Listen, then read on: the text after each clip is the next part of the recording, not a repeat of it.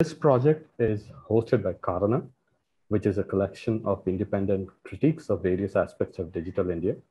My name is Shankarshan. I'm a member of Karana, and I'm the curator and promoter of this project.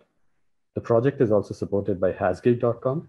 Uh, for most on the, uh, this session, Hasgeek is very familiar, but it, just in case you do not know or you're not familiar with Hasgeek.com, it's a platform for collaborations across practices surrounding technology, uh, design, law, policy, systems, data, and all sorts of things.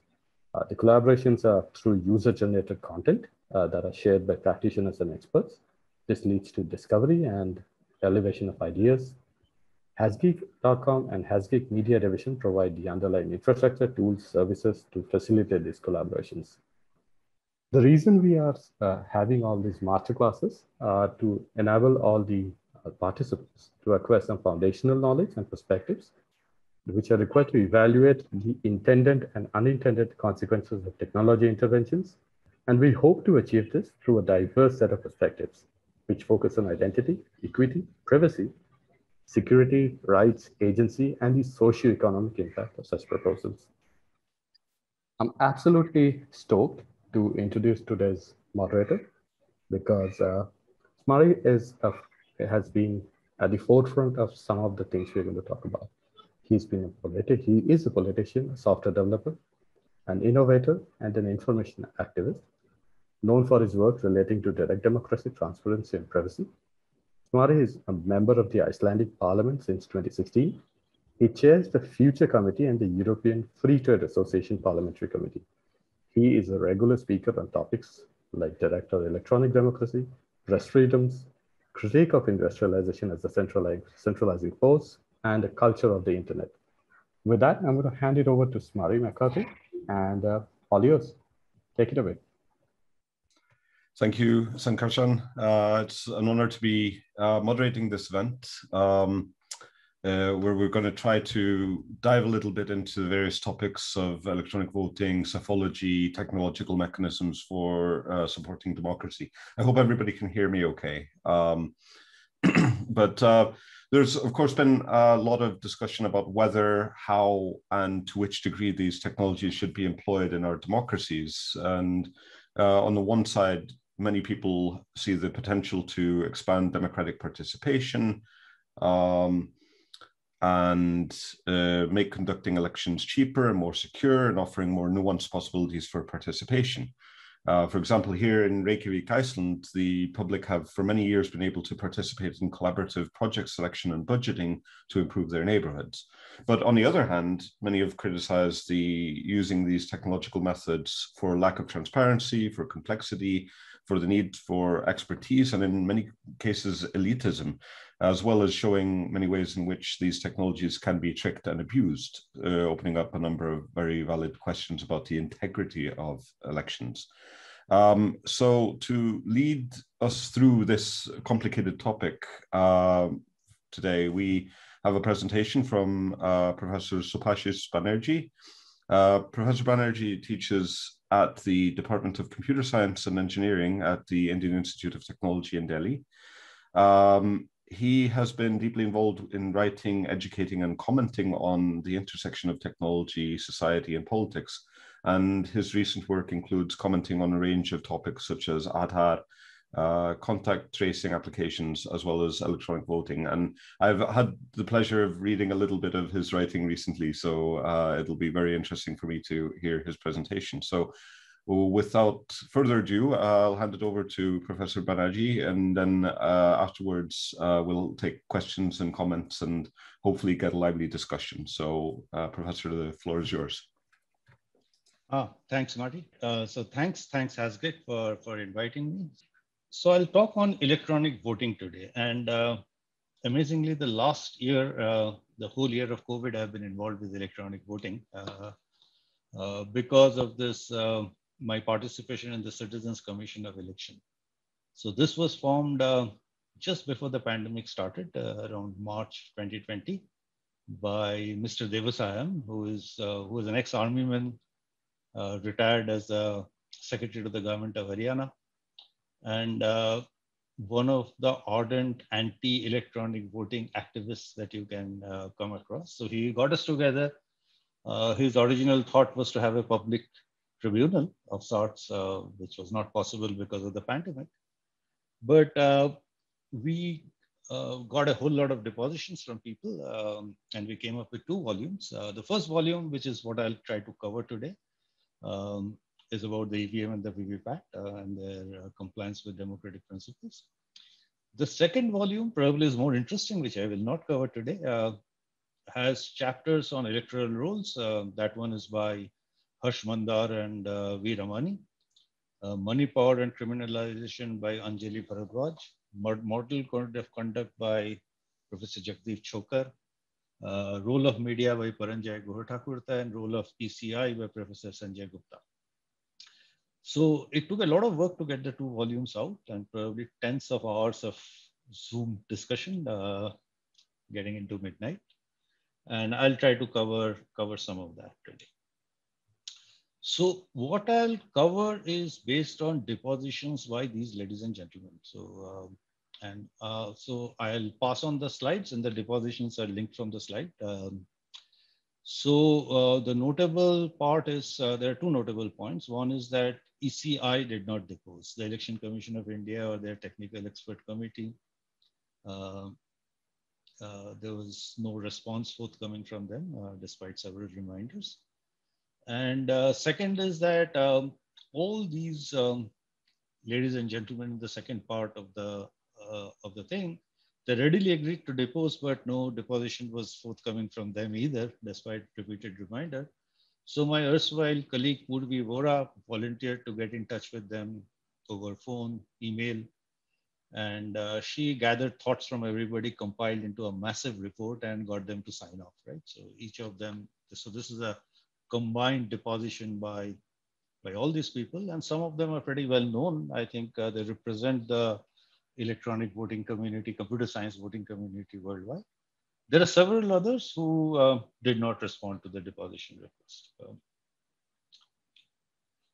so why electronic voting at all? Um, you know, so um, when we talk to a lot of people, uh, they thought that it's primarily for efficiency. But um, computer scientists and election commission of India, they believe that it is more because of correctness. Actually, uh, the people in the commission, they have conducted large elections and they think that manual counting of paper ballots is not that difficult, even in India. Right? Can be done in a day or two fairly easily. But uh, as I was telling Smari, uh, you know, I, I grew up in Bengal where it is in the ballot stuffing, uh, you know, by by using dandas is a is an industry, and um, uh, I think young Indians may not know it, uh, may not have seen it the way I have. Um, and it is generally believed in this country that electronic voting has uh, prevented some of that. So it has been successful to prevent some of that. And overall, um, I think that we found that people think that electronic voting has helped. However, this correctness uh, we found is very ambiguously defined. You know, what is correctness of voting? And that concept both in, both in the minds of electorate, in the minds of ECI, and in the minds of the designers of the system are not correct. And that is something that uh, we will try to uh, address in this talk a little bit today. Um, so when you talk about correctness of an election, the public trust um, in elections come from verifiability, right? And uh, that how verifiable is the election outcome. And uh, verifiability traditionally has this connotation that it is administrative verifiability. It is verified administratively. So it is the Election Commission of India uh, who, which on behalf of all of us uh, verifies the correctness of the election. And it's a very complex process that starts with certification of equipment, uh, you know, equipment manufactured by BEL and ECIL, and um, they're tested and certified, uh, audited, then there is a trustworthiness of custody chain. Uh, there's a process that defines the trustworthiness of custody chain of election equipment from the time of manufacturing to the time, time of deployment. It's a three-stage randomization process uh, by which the voting equipment reaches the polling booth. And then post-election, they're collected, uh, they're sealed, uh, and the polling agents sign them off, and they are put in GPS tracked boxes to strong rooms. So this, uh, this is a custody chain of a very complex custody chain of processes. There is a trustworthiness of custody chain of VVPAT. VVPAT are the voter verified paper audit trail. Uh, so this is a paper audit trail thing that uh, every vote that is cast is also recorded in paper. And this was introduced in India from 2014 parliamentary election, but the 2019 election, every vote had a VVPAT step. Uh, and the trustworthiness of the correct custody chain of VVPAT is also defined through a very complex process. Uh, and finally, there is a VVPAT-based audit of electronic counts. So this is what is called administrative verifiability. The general public, like, for example, I, do not have too much of a role in it. You know, we have to put our trust on the Election Commission of, uh, of India or the officers who are conducting the polls uh, for the verifiability, and we have to trust their words. Um, so this process can work. This is the way it works in most countries, not only in India. But uh, you know, there are several lacunae in our processes uh, that I'll try to bring up, right? that we found out that I'll try to bring up. Now, uh, there can be much stronger verifiability that is possible by using computer science. If you use computer science, uh, computer science has looked at electronic voting, has a rich history of studying electronic voting for over 40 years. And uh, you can give mathematical guarantees that every vote is cast as intended, uh, is recorded as cast. Recorded as cast means that you can show that it is recorded correctly just before you start counting. And counted as recorded. So you can give a proof to every individual as a theorem that all these guarantees are met and there are no spurious vote injections. So this is possible. Uh, rare to use though. And the reason is that uh, this will require you to use some non-trivial cryptography. And whether it is uh, proper to use cryptography in large public elections when the electorate has no understanding of it, there are some ethical questions there right? So, uh, which also I'll cover a little bit out there. So, um, so public verifiable, publicly verifiable elections, uh, to the best of my knowledge, are not not not not common anywhere in the world. They've been tried in the United States and a few places like Estonia, uh, you know, uh, but only as pilots, and uh, there are no large-scale deployments. So we have to rely on administrative verifiability primarily for correctness of elections. Then there is this notion of internet voting. Um, you know, whether you can do voting on the internet at all. Um, this is also particularly relevant for India because 30% um, of the Indian electorate, about 200 million people, are migrants. You know, they're not at home when voting happens. And uh, traditionally, over the last 70, 75 years, they have not voted. People who have traveled, working laborers, uh, a small number of non-resident Indians who are abroad. Uh, so about 200 million people can do not get to vote, and that's that's uh, that's an incredible statistics. And there must be a way to uh, technologically or otherwise uh, to enable them to vote clearly. And lots of people are thinking of internet voting. Uh, internet voting in computer science is uh, the current consensus is that it's almost impossible. Uh, because of two problems. Uh, I think Ornette in the last talk uh, alluded to the second one, that it's impossible to make it coercion free. I think she said that women in the family are coerced by the men in the family to, to, to uh, cast vote in, in certain ways. So if you want to vote for other party and your husband thinks that you should vote for another party, that becomes difficult for women. So it is impossible to make it coercion free especially in, a, in somebody's home. Um, you know, um, even, even if we can discount the neighborhood gunda uh, telling you that please share your screen before I vote, uh, you know, before you vote and show you who you're voting to. Even between husband and wife, um, you know, making it coercion free is a little bit tricky. So it, polling booth is probably the only option. There is also uh, this extremely hard problem of um, that Rivest pointed out uh, called the secure platform problem that you may own a laptop or you may own a mobile phone, but you very few people really understand how they work. Right? They don't they don't control the operating system or the hardware, but a very little understanding of the operating system or the hardware. So to trust an Apple to do encryption for you correctly or do cryptographic, execute cryptographic functions correctly for you or not leak your vote to others uh, is a concern. And Rivest says that we cannot have democracies being controlled by Apples and Googles of the world. So, so there is a concern and there is no known method to, actually that's not true.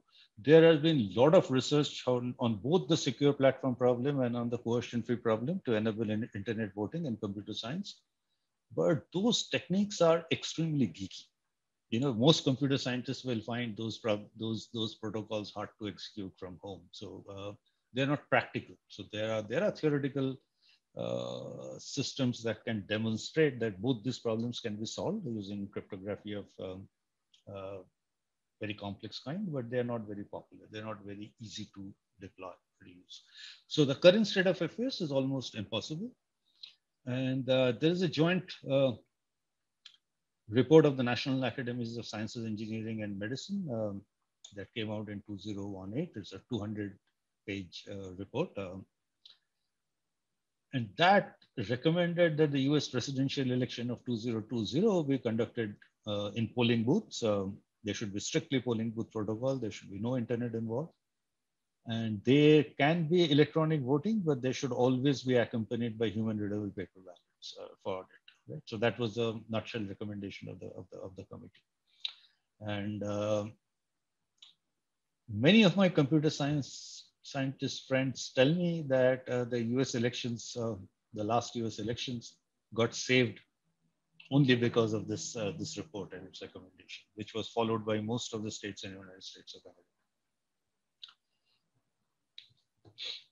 Okay, so let's first consider uh, why the, the US National Academies made such a recommendation. And let's consider an EVM only solution, an EVM being an electronic voting machine, right? Uh, so no VVPAT, no voter verified paper audit trail. You go press a button and your vote is recorded, right? Uh, now, of course, a voter cannot see what has been recorded. So you press two and uh, you have to trust the machine that it is recorded to and not recorded through, right? So this proof is, is impossible. Uh, so there is no way to resolve a dispute. So what transpires between a machine and a man in the privacy of a polling booth without a witness, uh, uh, and if there's a dispute in that, there's no way to resolve it clearly. Even if there are two human beings who have agreed upon something uh, agreed upon a number in private and they come out and raise a dispute, there is no way to resolve that either, right? Uh, there's no way to figure out who is lying. But then there are traditional methods like swords and pistols and fist fights, uh, but you can't you can't even bash up a machine. So right, so this dispute resolution is theoretically impossible in an EVM only solution. There's no way to, uh, way to resolve that. Whether the man is lying or the machine is lying is uh, will forever be a mystery.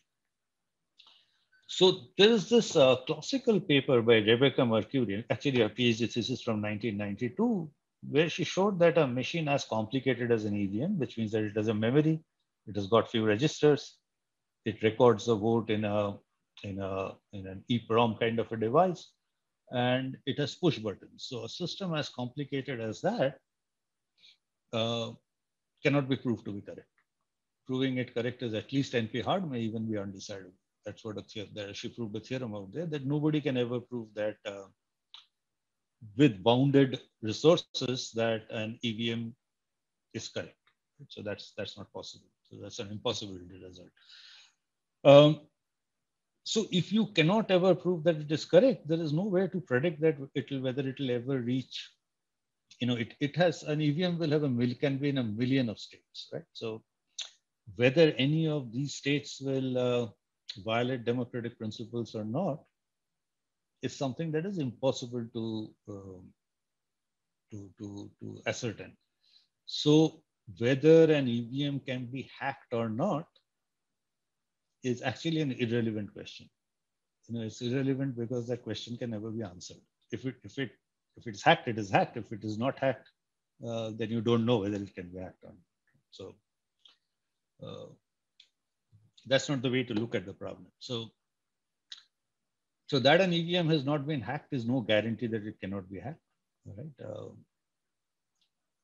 so, and also testing, right? Our Election Commission of India uh, seems to be saying that the EVM is safe because they've tested it adequately. You can only test for malfunction. You cannot test for a hidden Trojan. Uh, that's, that's known to be an impossible problem in computer science. So testing does not constitute a proof. Right? Um, so you can test and detect that the display is not working or some button is not working, but what is hidden inside a machine um, cannot be found out by testing. You, know, you cannot you cannot conduct infinite number of tests potentially and the state space is infinite, uh, exponentially large. So you cannot ever test for all possibilities, right? And to say that an EVM is not networked is a extraordinarily naive statement because there can be no machine that is cut off from the environment. So it is constantly interacting to the environment, if not through Wi-Fi, uh, but through sound, heat, and other electromagnetic waves, right? So, uh, so, so there can be communication channels that are open that are not obvious, like Bluetooth or Wi-Fi or so on and so forth. So, you know, there may be triggers like with the sound. There can be triggers with infrared. There can be triggers with an ultrasound from outside the booth. There can be all kinds of triggers. There can be all kinds of antennas hidden, and uh, a hack system can be easily made to behave correctly under test conditions. So, uh, and it, it cannot be detected by testing. So none of these one-time programmability, quality assurance, etc., they do not um, they do not lead to verifiability. Right. So that line of argument is a uh, false line of argument. So you cannot ever uh, satisfy a voter with an EVM that these guarantees uh, of an election are, are uh, can be met by very any EVM design, whether it is by ECI or anybody else. So there is a great deal of problem with the nature of discourse about EVM hacking in India. So the onus is on the Election Commission of India to demonstrate correctness, right? Uh, not on not on a general, uh, not on the general public to show that it can be hacked. So there is this public invitation to come and hack, you know, hackathon and so on and so forth. Uh, these are like a little bit like a theater of the absurd. This, uh, these things don't make any sense at all, right? So there has to be robust system to demonstrate uh, that in spite of the EVM, the election outcome is correct, right? Uh, and uh, this need not be a mathematical proof using cryptography, but this, that you know, it should be the due diligence should be such that there is public trust ultimately, you know, that's that's the conventional wisdom. So, uh, so the legal uh, examination of this issue uh, is by uh, was by the German Constitutional Court. Um, I think around 2009, and it gave the following ruling. It said that um, the use of voting machines that electronically record votes meet constitutional requirements only if the results can be examined reliably without any specialist knowledge of the subject. So, uh, you know, some IIT professors declaring it safe uh, will be unconstitutional or some election commission experts saying that I declare that the EVM is safe uh, does not meet, meet constitutional provisions. And this was a ruling of the German Constitutional Court. There was a friend of mine called uh, Professor Kurt Mehlhorn, uh, a computer scientist of some repute. He deposed uh, before this court uh, in favor of electronic voting and got overruled by the court. Uh, so I have interesting conversations with him about the German Constitutional Court's ruling. The court, however, said that the legislature is not prevented from using electronic voting machines in elections, provided the votes are recorded in some other way beside electronic usage. So this uh, ruling is uh, not applicable on other jurisdictions, but uh, somehow this is respected by most jurisdictions in Europe. Uh, so this ruling has led to uh, Holland, England, Ireland, uh, France, go moving away from electronic voting and to paper-based voting. Iceland, I was discussing with Mario, always had probably paper-based voting. And uh, amazingly, most of the states in the United States also follow and, and cite this German Constitutional Court's ruling uh, and, and, and abide by it. Right? So this, this is a Constitutional Court's ruling that defines elections at most places worldwide. And in India, we don't. Right? Um, and I agree that uh, you know to declare that a paper-based voting is correct or it is understandable by public uh, that statement is also not true, right? Uh, so, so, so if you if you do a completely paper-based, old-fashioned ballot style uh, voting, there are a lot of administrative processes which are defined uh, by the election commission, and a general public may not have any understanding of that either. Right? That that process is also fairly complex, and correctness is difficult. So this constitutional court's ruling is not uh, it's not that it is not controversial or not that it cannot be questioned, but it stands as the major ruling today, right? And uh, and pretty much uh, use of cryptography in electronic voting has been ruled out because of this this this ruling, this this particular ruling. Computer scientists are more or less backed off a little bit. So what to do then? Then you need VVPATs, you know, voter verified paper audit trail. I think the German constitutional court pretty much said that, that votes are, must be recorded in another way. And I think that uh, Rebecca Mercuri, the same person who proved that an EVM cannot be proved correct, uh, in the same PhD thesis uh, recommended, and actually she made very strong statement. She said it's impossible to conduct elections without voter verified paper audit trail. Uh, so she she uh, she laid down the properties of what a VVPAT system should be like and, and recommended in 1992 that all elections should be conducted, all electronic uh, elections should be conducted with accompanying VVPAT systems. Uh, so it is now commonly understood that there is definitely a need to move away from certifying voting machine as hack-free or hackable and so on and so forth. So these are irrelevant questions to establishing that the outcome is correct you know, do whatever, use an EVM, don't use an EVM, but establish that your outcome is correct. And uh, to gain public trust uh, in large election, uh, you know, the only democracy principle is that, that the public should believe that your election is correct. And this constant talk about um, elections being hacked, this, that, or the other, it does not uh, do any good to democracy. So one has to design elections assuming that voting machines can be hacked. Right? That's the that's the that's the conventional understanding.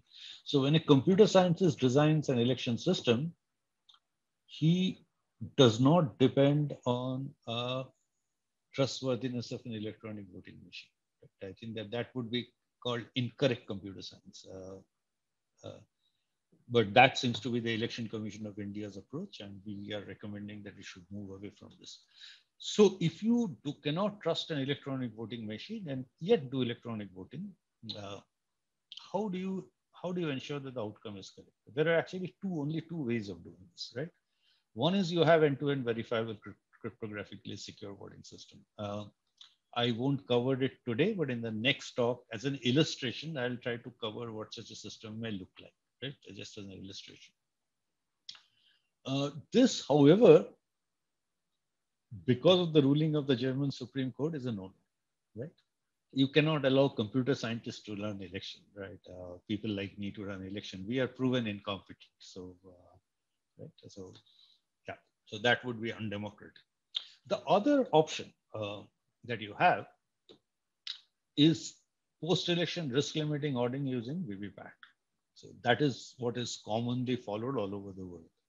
And there the de facto standard is uh, is this classical paper by, um, by Philip Stark and Wagner uh, that came out in IEEE Security and Privacy called Evidence-Based Elections, where they showed how to do this. And this is such a great paper. Um, and, and, and Philip Stark, I got him to depose to our commission, uh, sort of coaxed him to depose to our commission.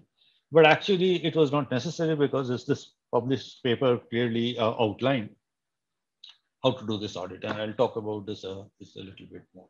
So there are these two methods. Um, you know, there can be ways to couple them also.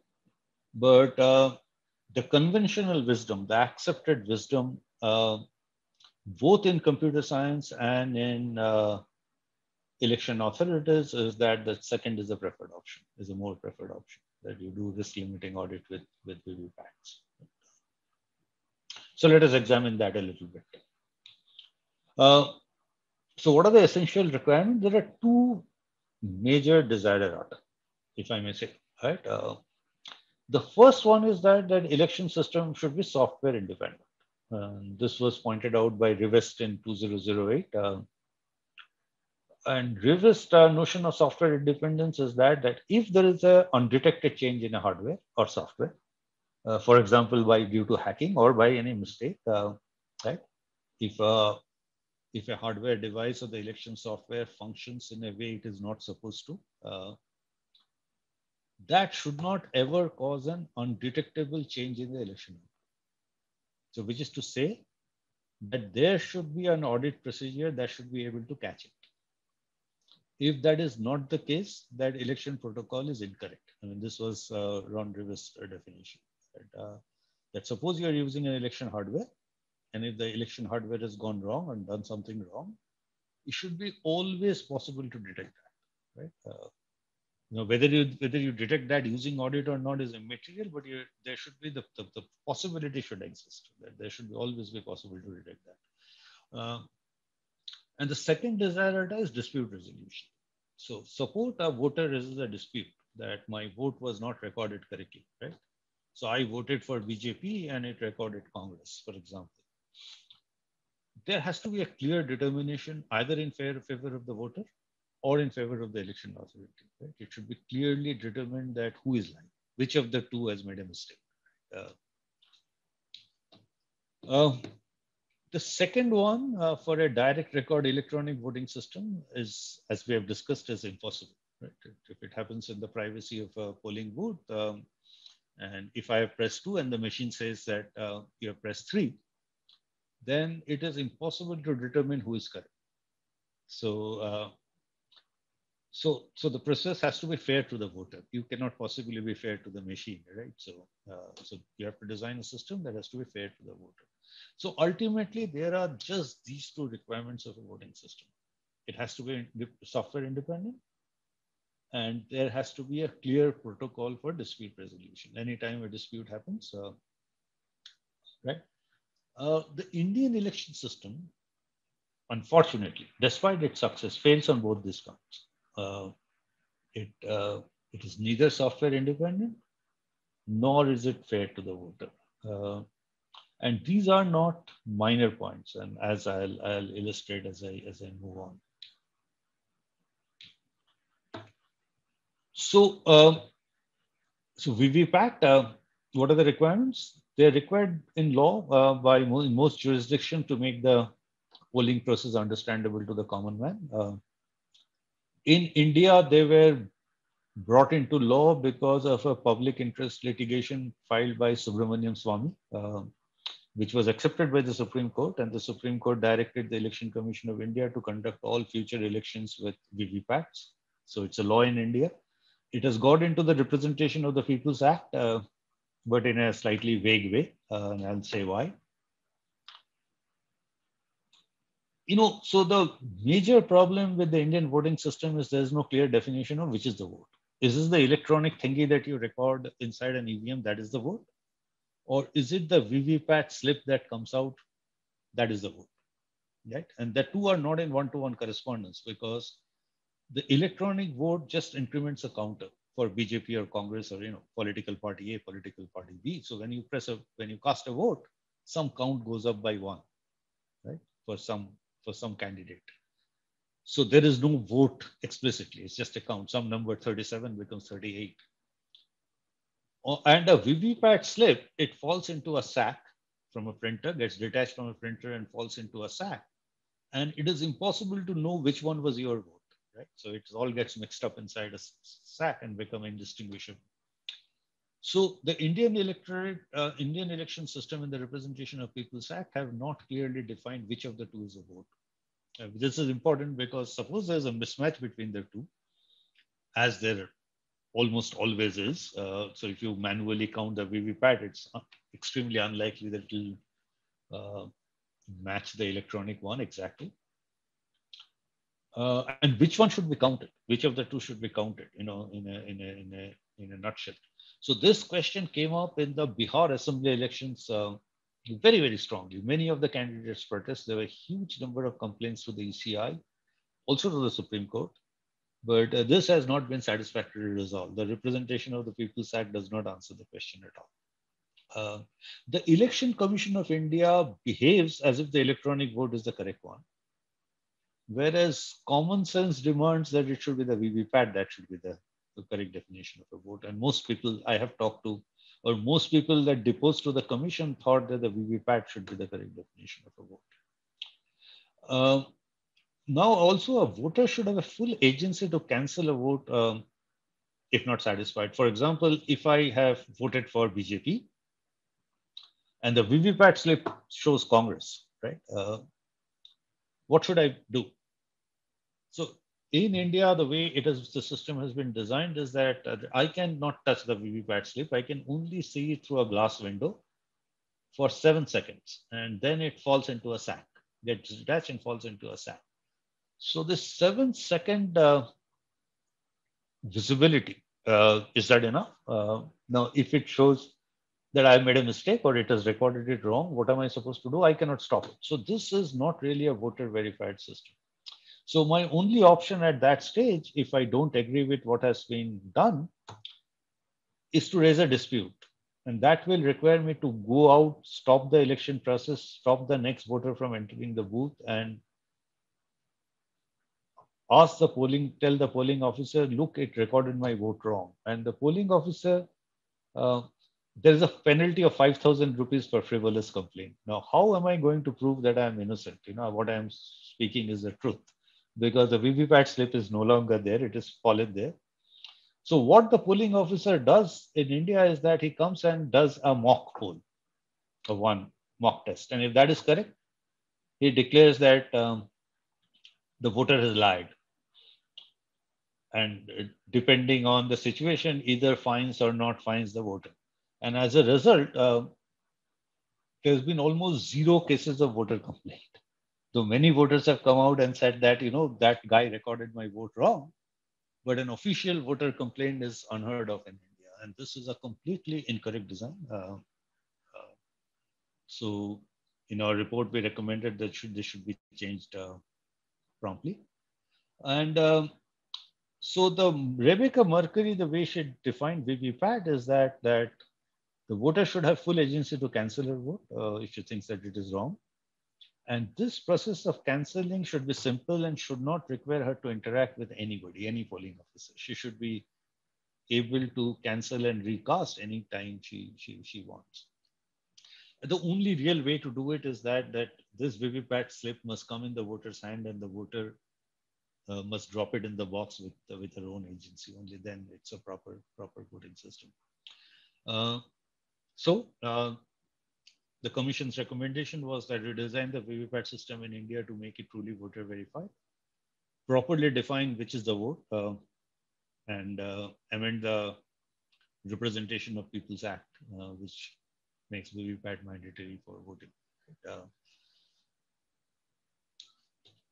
okay, so now the VVPAT may be trustworthy during voting, right? So they, while the voting happens, um, suppose they're trustworthy. Suppose they design a system where the VVPAT slip comes in the voter's hand and the voter inspects it and then puts it in a box, right? But the question is that uh, do they remain trustworthy during audit? Like in Bengal elections, it happened in seven phases over a month, right? So in this one month, the VVPAT slip was in some strong room somewhere, uh, was transported in some suitcases, some uh, some buses somewhere. And uh, the question is, are they trustworthy? How do you ensure that they're trustworthy? So this is a process which in computer science we call compliance audit. Uh, and again, Stark and Wagner says that, you know, what are the kind of properties that can be defined for this administrative process? And how do you ensure that this administrative process is completely trustworthy? I think that what we follow in India, not only in India, in most countries, is some kind of an ad hoc process whose properties are not clearly enunciated, right? So Uh, so this process is, uh, you know, the custody chain. Uh, you know, it can never be foolproof, but it can be made as near foolproof as possible by, by, by following certain processes. And uh, these processes are well defined um, in this classical paper, but almost never followed. And uh, we also recommend that this be followed um, by, the, by the Indian system. Then comes the final question that how many EVM should be audited, right? So how many EVM, uh, you know, so the EVMs, uh, the electronic counting can happen, you know, you just shove in the uh, EVMs into a port and the electronic counts um, come out. Each EVM holds about 2000 votes, 1200 uh, votes, 2000 is the maximum capacity. So you can count in a few hours just by uh, the electronic count. And a few of these EVMs uh, should be cross-checked by full manual counting. The question is how many? You know, that is the VVPAT audit. That is called the risk limiting VVPAT audit. Uh, and this process is very well understood. Uh, and there are also these uh, issues of suppose they don't match. Suppose the EVM count and the VVPAT count don't match. What do you do? Uh, do you declare the entire uh, election for the entire population null and void and um, re, re-elect, uh, uh, announce a re-election? Or do you hand count the paper slips for the entire population and say, and discard the electronic votes? So this process is again not defined very clearly in the Representation of the People's Act. It's ambiguous, as ambiguous as it can get, right? So in fact, this the answer to these question, questions are completely undefined, amazingly, and uh, uh, and uh, that makes it extremely unsound, right? So what is the audit process uh, and what should be done if there's a mismatch? And this is related to which is the which is the correct vote, right? And the total number of complaints are both to Election Commission of India and Supreme Court are incredibly high. There are about 23 cases on this issue pending in the Supreme Court of India, uh, which is not heard for a very, very long time. And uh, and our commission found that completely, completely amazing. So what is the what is the what is the psephology technique that you should use? Uh, there is this statistical uh, probability distribution called the hypergeometric distribution, right? Uh, so this is I'm quoting straight from Stark's paper, uh, this paper of risk limiting audit, uh, Stark and Wagner. This describes the probability of finding k defective items in n rows uh, without replacement. So the binomial dis distribution is with replacement.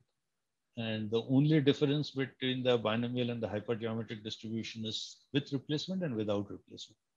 So you have a population size of capital N and you assume that there are exactly k defective objects. So in this case, k hacked EVMs capital K hacked EVM. So the rate of hacked EVM, suppose is known, and I'll tell you from where that figure will come.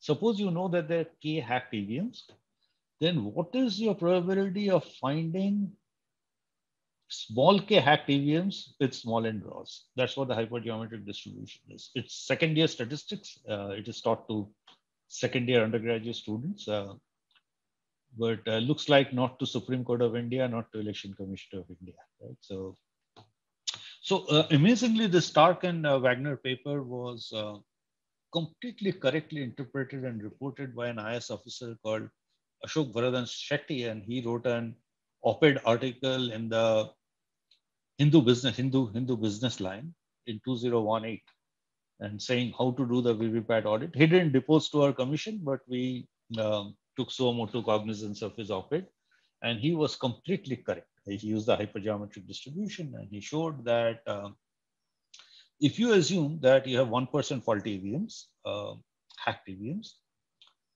then to detect at least one faulty EVM with 99% probability, uh, you need to sample uh, so many EVMs, depending on the population size.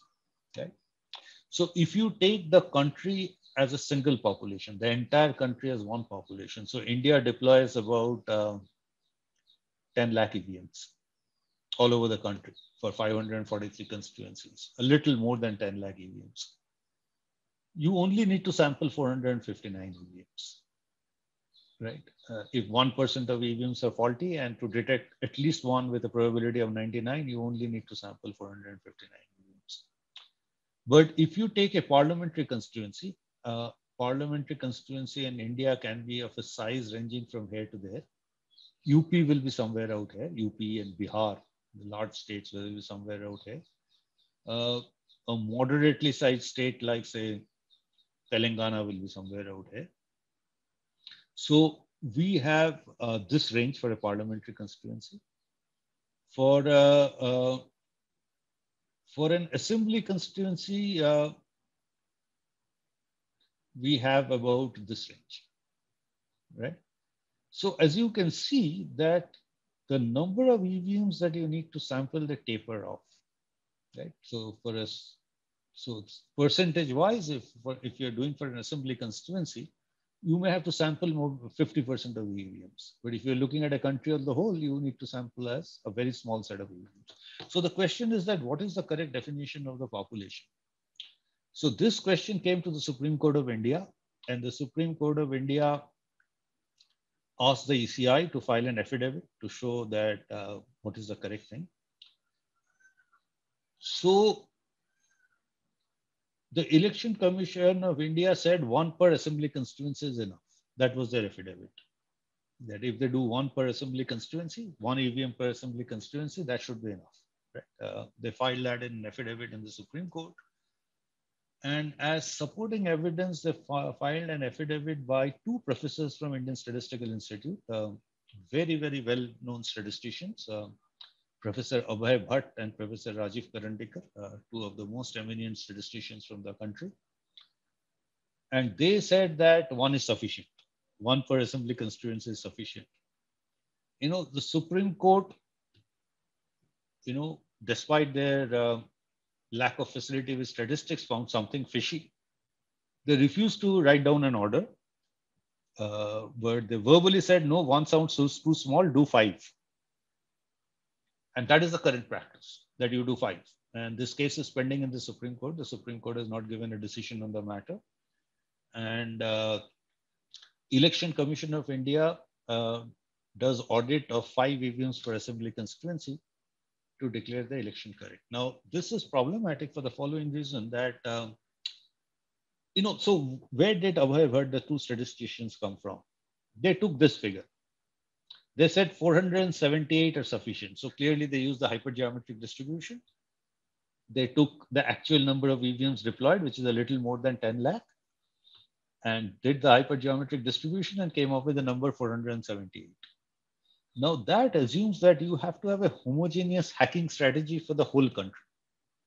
Now the whole country doesn't even have uh, the same political opponents, right? So, so, so to assume that there's an entire homogeneous you know, the, the population is the entire country and your hacking strategy in Kerala is same as hacking strategy in West Bengal is extraordinarily naive, right? Uh, so this was, this was completely amazing. And that's the size of our population size. You know, an assembly constituency deploys 30 to 300 EVM, a parliamentary constituency deploys so many EVMs. A state deploys um, from 1,50,000 to typically 10,000 EVMs, and India as a whole is slightly like more than 10 lakh EVMs. So, um, so what is the consequence of SC's prescription? Actually, it's not Supreme Court's prescription. It's actually Election Commission of India's prescription, which they uh, managed to get the Supreme Court to sort of agree to, right? Uh, though the Supreme Court thinks that something is fishy because they never passed an order. So suppose uh, so cross-checking five per assembly constituency or approximately 38 per parliamentary constituency. Uh, if there are 25% EVMs that are wrong, that are hacked, right? Uh, you will catch it with a virtual certainty. But if there is only 1% of the EVM that are hacked, your probability of catching it is only 0.33. Right? So with a probability and with an overwhelming probability of 0.67, you will miss the fact that EVM has been hacked. Right. So, so this, this, this, this sampling is incorrect. If my second year student gave this sampling strategy, I would have given that uh, given uh, the student a zero in the exam but uh, but it stands. So the other thing is that, of course, the margins are important. You cannot come up with a number of uh, how many EVMs to audit independent of the margin. So common sense tells you that if the margin is a single vote, right? If party A has defeated party B by a single vote, then the audit will require count, manual counting of everything. Without manually counting everything, you can't say. But if the word margin is 10 lakh votes, then you need to audit only a few things, right? If the margin is overwhelmingly large, that party A has defeated party B by 10 lakh votes, uh, then counting a small number of votes is, is correct. And the hypergeometric distribution tells you that. So if the margin is 10%, uh, then for a detection with probability 0.98 of, uh, you know, uh, that that 10% uh, swing has been manipulated by EVM hacking, you need to cross-check only three EVMs in an assembly constituency. On the other hand, if the margin is 1% or 0.8%, is a closely fought election, then you need to sample many, many more, many, many more EVMs and count them. So this is, uh, uh, so, so the, the EVM audit process, the risk limiting audit process has to be much more principled and uh, not ad hoc. And the number of complaints uh, that are pending before the ECI and the Supreme Court regarding how many VVPAT slips to count are mind-bogglingly large and over the over the last five or ten years. And I think this is not healthy for for a democracy. Okay. Uh, I'll just take five more minutes and stop uh, with this question, uh, the theme that Shankarsan has given me. Uh, that can blockchain provide verifiability? Right? That's a that's a that's a question. Uh, so blockchain, the typically blockchains uh, come with internet voting. So as I have already discussed, that internet voting is an impossibility right now because uh, because you cannot give a device, a secure device to every person, and you cannot ensure that the person is not coerced at the time of voting, right? So blockchain can be used. Uh, so uh, you know, so what's a blockchain? A blockchain is a is a ledger, is a is a sequential block of ledgers where data gets into a block, uh, a series of blocks, and uh, there are peers. So there are multiple participants in a blockchain. So every peer has a partial copy of the entire blockchain. So if I and Smari and uh, and, and Zainab, uh, we are peers in a blockchain, so typically all three of us will have uh, copies of the entire ledger, uh, our, our own copies of the entire ledger. So to say that it is a distributed database is wrong. It is three centralized databases uh, with the three peers, right? So each one of us is uh, has the complete access to the entire data. So the distributed uh, aspect is only in the control. So what gets onto the blockchain is determined by a consensus algorithm. So, so we three have to execute a very complex protocol. Uh, you know, um, everybody must have heard about the Byzantine consensus protocol or something similar to decide that what gets added onto the ledger if all three of us agree and elect a leader and the leader gets to decide that what gets uh, added onto the ledger. So, you know, we cannot put stuff arbitrarily onto the ledger. And then the second component of a blockchain are timestamped hash chains. Uh, so the hash is a is an electronic signature. So you keep computing the electronic signatures of what has got onto the blockchain uh, in terms of hashes. And this gives the, gives the blockchain a traceability and an unalterability. So, uh, so which, uh, and, and non-repeatability. So changing what has gone into the blockchain is almost impossible. It's believed to be almost impossible, right? Because it's publicly visible. It's a publicly uh, visible ledger. So if I have to tamper this blockchain, I have to recompute the hash chain, uh, you know, of everything that has gone out there and generate a fake proof trail which uh, is impossible to do unless I have infinite computing resources. So that gives a blockchain an untamperability. So what is ECI's proposal? The ECI's proposal is grapevine, right? Um, uh, there is no official official record of an ECI's proposal. Uh, I have had some personal communication with ECI's proposal. Uh, you know, they they wanted me to design an election system for them, but I didn't like what I said, so that uh, conversation fell through. But uh, there are these, uh, you know, I have I have linked it here, so I won't do it now. But there are these articles, public articles, you know, in Indian Express and so on and so forth, that seem to say that what is the ECI's, what does ECI have in mind? And I would, I must say that I have never seen greater confusion than what is reported in those articles.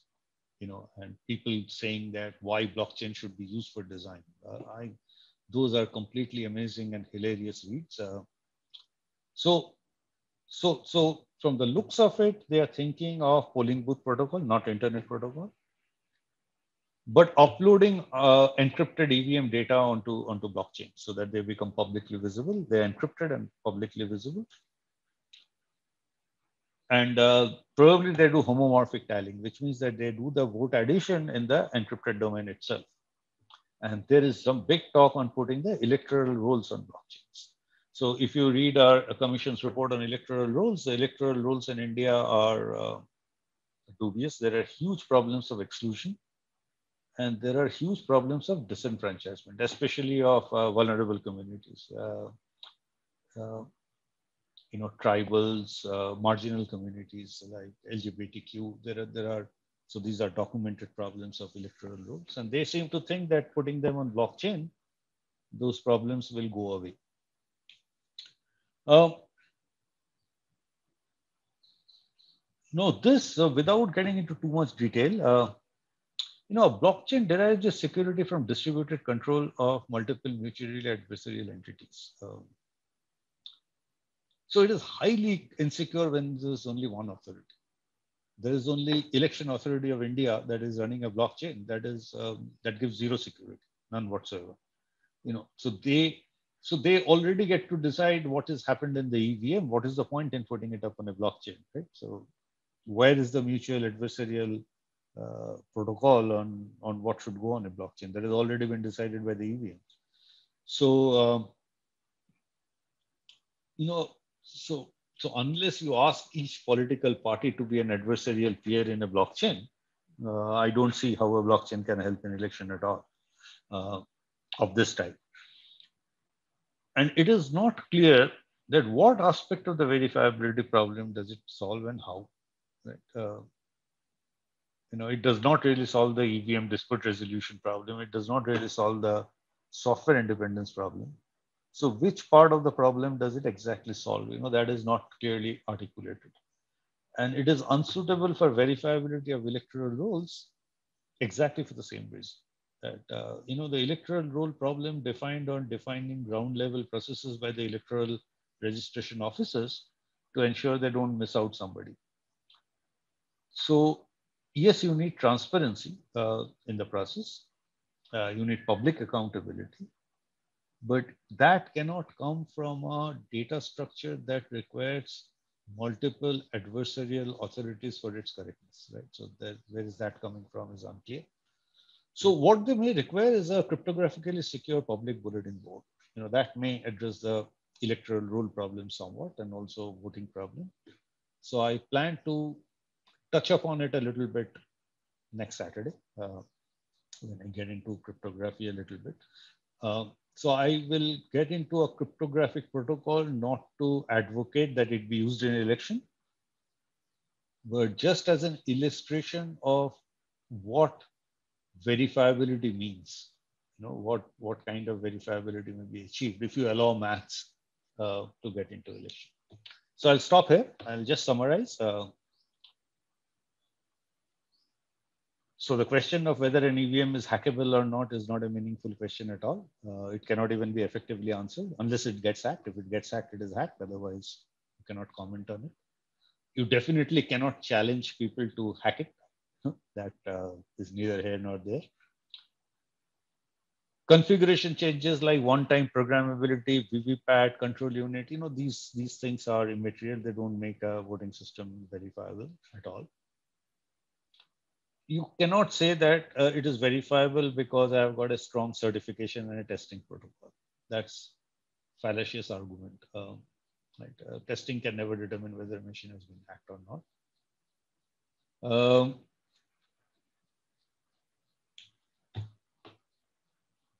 the, there are bigger problems with the VVPAT system. Right? The VVPAT system, as I said, is not voter verified. Uh, it doesn't give the user the agency to cancel the vote. And that is something which is sort of a low hanging fruit and should be corrected straight away. Uh, in the US system, everywhere it was a paper ballot that the voter herself took to a scanning machine or put it in a box, right? Uh, that's how the system was used. And that, that's obviously the correct way to do it. EVM audit by cross-checking with manual VVPAT should not be based on ad hoc strategies. And uh, if Supreme Court um, cannot do proper statistics, they should be told so in no uncertain term to register for statistics courses, statistics 101. Uh, maybe some statistics professors also need that. Uh, uh, but there should be rely on only on well-established professors and risk limiting audits. Uh, and there are established literature on how to do all this, right? There are great election papers uh, coming from computer science and statistics uh, that tell you how to do it and they should become de facto standard. Blockchain, um, you know, the design, if, if blockchain has to be used in election at all, it should not be a closed door design. You know, how the first requirement is make the design public, let the public comment on it, uh, let hundreds of people pick holes in what you are trying to do, articulate clearly what are the objectives, what problem in the election conundrum does it exactly address? Uh, why would it make the electoral rolls more secure?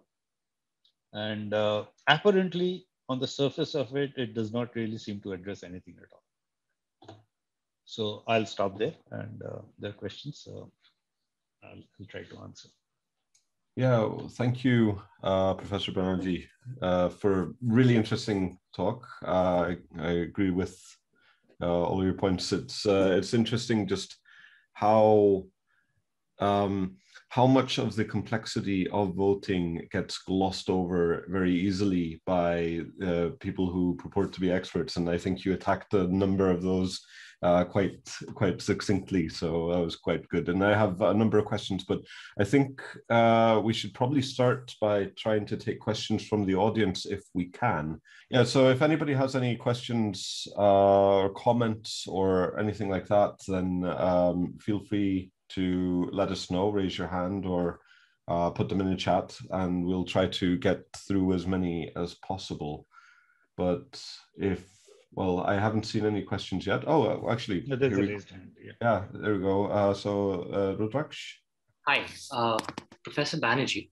So I had the privilege of reading your paper, and uh, somewhere in the paper you speak about how if it's an electronic voting machine with a completely with a pure electronic process, uh, mm-hmm. When when they use when when a person casts their vote, uh, mm-hmm. they're given a commitment. Now, to me, the commitment sounded a lot like a unique identifier of some kind. Oh, uh, that's a that's a cryptographic protocol, right? Uh, right. Oh, that's a that's a paper I wrote. You know, don't take my paper seriously. Uh, that's that's only for getting a good publication in computer, computer science journal. But uh, what I'll do, uh, Rudraksh, is that uh, maybe I'll take this question on next Saturday after I discuss a cryptographic protocol. Done. Okay? Absolutely. Thank you. Um, that was great. There's another, uh, there's a question from Anand in the chat. Uh, I think unless Anand wants to uh, say it himself, uh, I can just read it out. So, uh, or it's more of a comment, I guess. Uh, blockchain solutions, even if they have any point or only try to help avoid tampering after the vote is recorded, there's no mechanism to protect from the risk of malfunction of EVM. Uh, that isn't that going to give a false sense of security? Um, I would think so. Yes, uh, I would uh, say that. You know, so so, the, so you get in a blockchain, the, the, the the distributed consensus decides what gets onto a blockchain. But if the EVM has already decided that, you know, EVM has decided that um, you know, there's so many votes for party A and so many votes for party B and so many votes for party C from this polling booth. Where is the question of not get letting that data go onto the blockchain? Right? And if you put up that data on a blockchain, then why, why a blockchain? Where is the distributed consensus here? So the whole process of the concept uh, was a little hazy and uh, it's, it's, not at all clear that what happened. So when people design electronic uh, voting system on based of blockchain, they typically assume internet voting. There are lots of paper in computer science where they assume internet voting and on the basis of blockchain. And I think that uh, such systems have been tried in Estonia and Switzerland and, and, and, and, and a few other countries. But uh, as I said, internet voting is very, very a theoretical concept. You know, nobody knows how to do it correctly. They are just fraught with dangers. Uh, so. Yeah, absolutely. Uh, I, I, I liked when you said uh, that they believe that if you put it on blockchain, the problems will go away. Uh, it tends yeah. to be the narrative about uh, all things blockchain these days. It's a data structure. It's a really slow database, and yet it's being treated like a magic wand. Uh, but you know, um, I think in computer sciences in many fields, uh, if you have a hammer, then every problem starts looking like a nail. Uh, yeah. But it would be good if if people were more uh, specific about what exactly they mean when they promise various uh, guarantees. Um, but there's a, a question from Pritam. Um, so, have there been any uh, have there been attempts to have the same electronic EVM based setup for allowing voters to vote at any booth in India, uh, probably with prior registration? If yes, what changes are required in the current setup?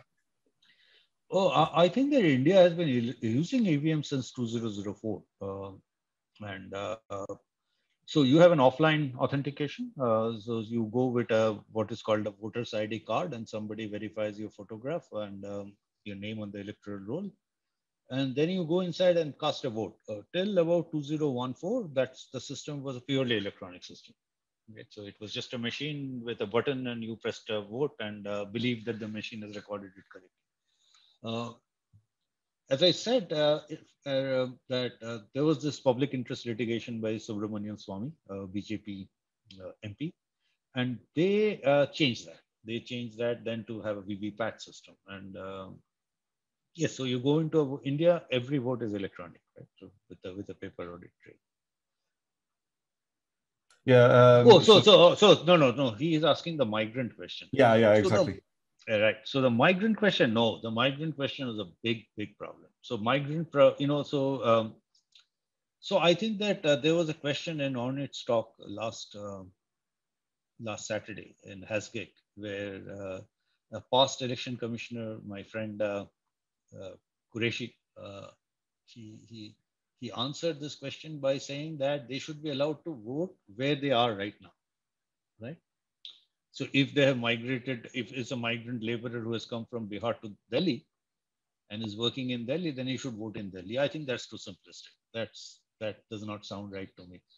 Uh, I would say that um, you know for a person who goes back and forth between Bihar and Delhi, works in Delhi, but his family is in Bihar and he goes to Bihar in some seasons, should be able to choose where he wants to vote from, either Bihar or Delhi, right? And the state should facilitate it. The Election Commission of India should facilitate it. And uh, so this, in my opinion, will require multi-race voting systems. So for example, if you set up a migrant voting polling booth in say Delhi somewhere, uh, in the India International Center in Delhi, then that polling booth needs to support 542 constituencies, right? Um, starting from Jharkhand to Bihar and so on and so forth. So this will call multiple races and the number of races will be fairly large.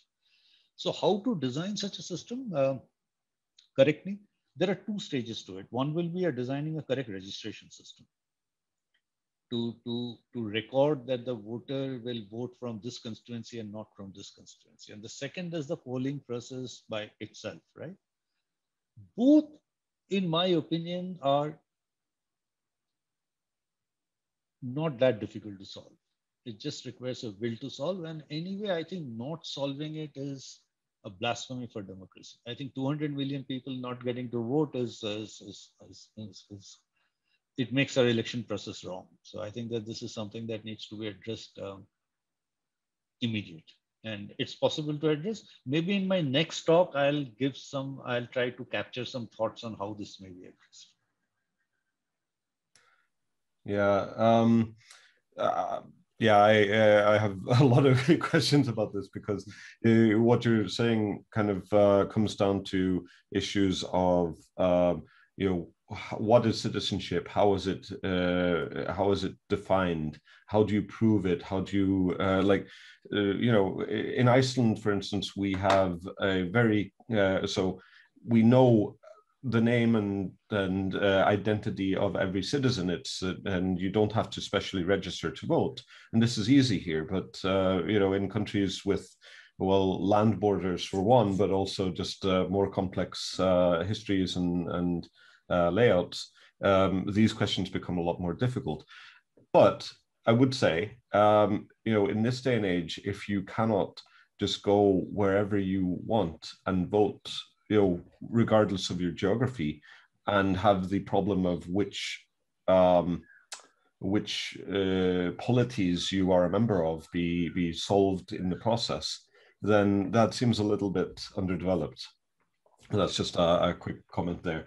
Um, that is putting it mildly. Uh, yeah. Yeah, I know, and it, it's not an easy uh, thing to solve, but it, it does seem like uh, if you if you pinpoint the uh, topic too much towards migrants rather than saying why don't we just solve this in general for everybody, it's uh, no. So uh, gonna... you know, to add to that that comment, that that is a question that is facing our country tremendously. You know, we.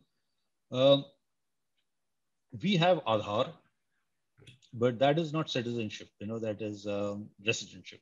So that doesn't define citizenship at all. The government came up with a proposal to define uh, NRC, a National uh, Register for Registry for Citizens, and um, mm-hmm. there were huge fears of exclusion, and there were fears that it may it is a political move to to to exclude some people, and there may be some truth in it, right? So the, the amount of uh, fear and amount of suspicion about that process was, uh, you know, about the legitimacy of that process was completely, completely incredible. And we also have a voter database system, an electoral roll system, which is the voter ID system.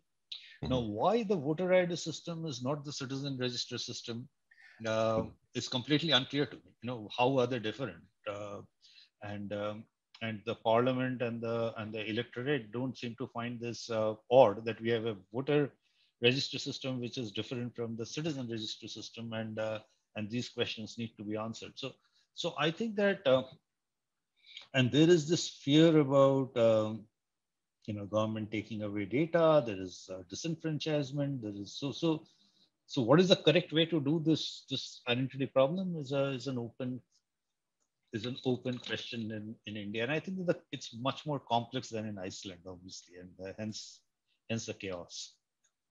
Yeah, uh, absolutely. But uh, I, I must admit, every time I follow an election uh, in the US or in various countries in Europe or or even in India, I, I do wonder like why why these uh, two databases are not just one database. It, it, would simplify everything and and probably be less prone to uh, abuse. In in fact, um, but um, uh, if I can just uh, put in a, a question, uh, and uh, we have a comment also from Biaka.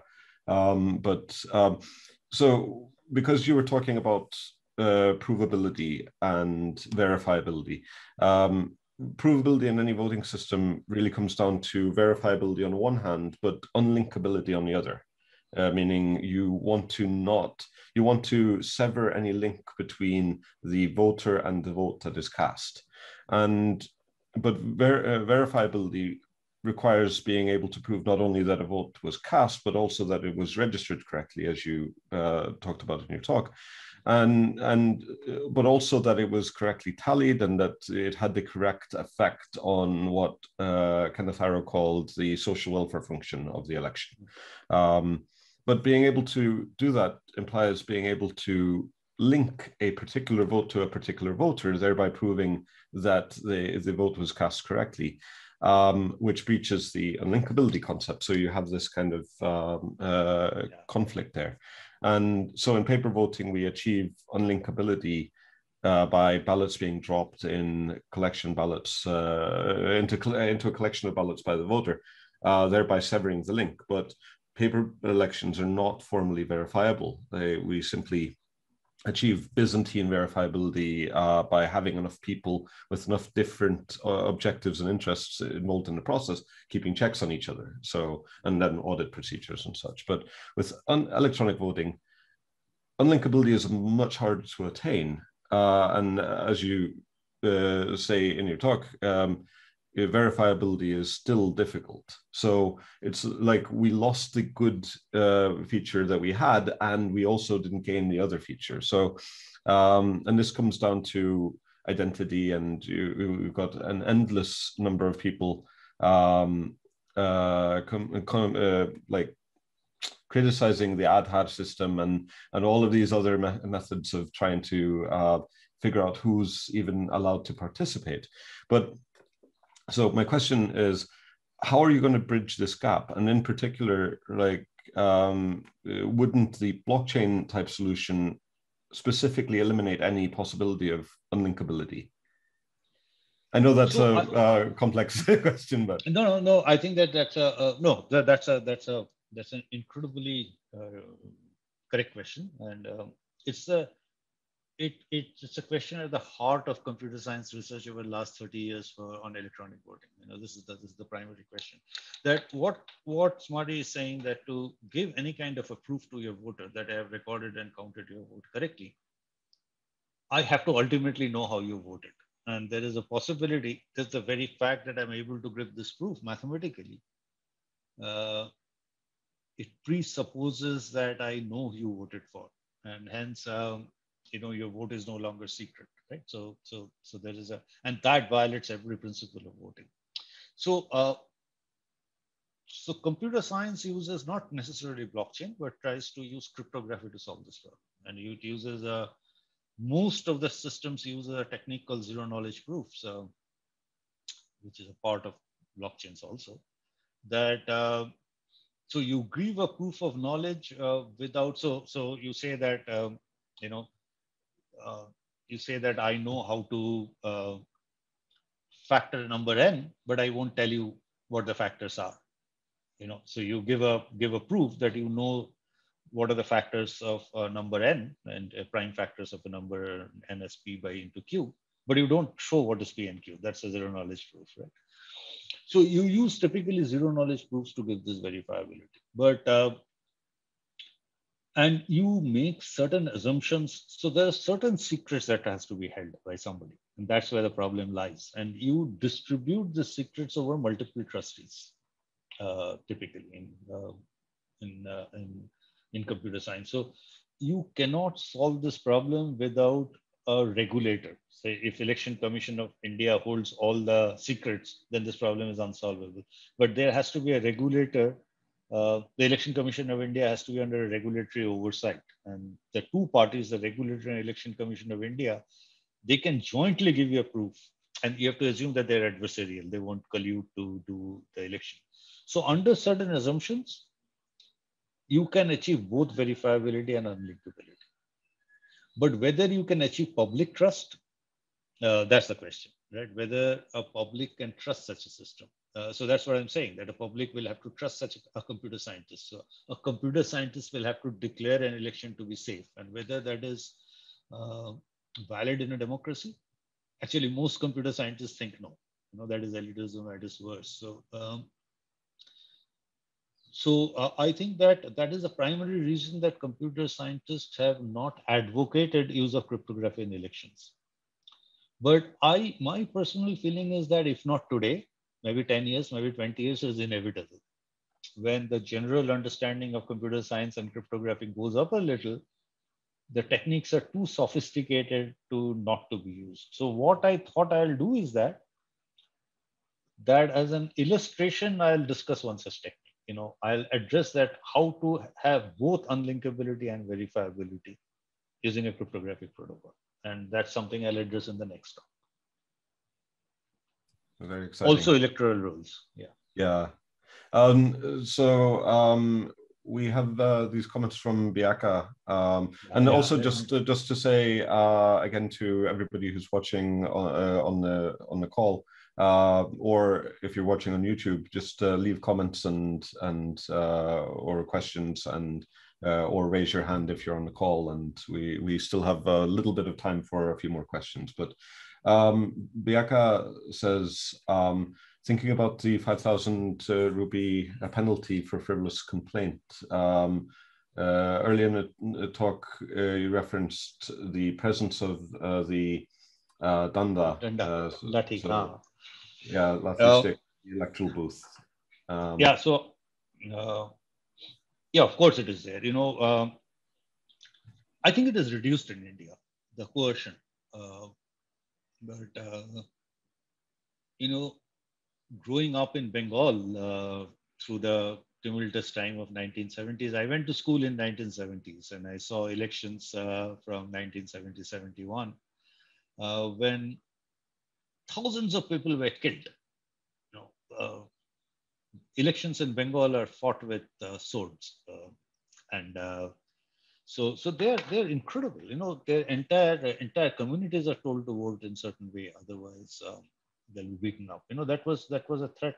So if you travel to rural India, you know, northern India, Bengal, Bihar, UP, coercion is the name of the game. You know, coercion, um, bribery, giving uh, giving money to the entire community to vote in a certain way.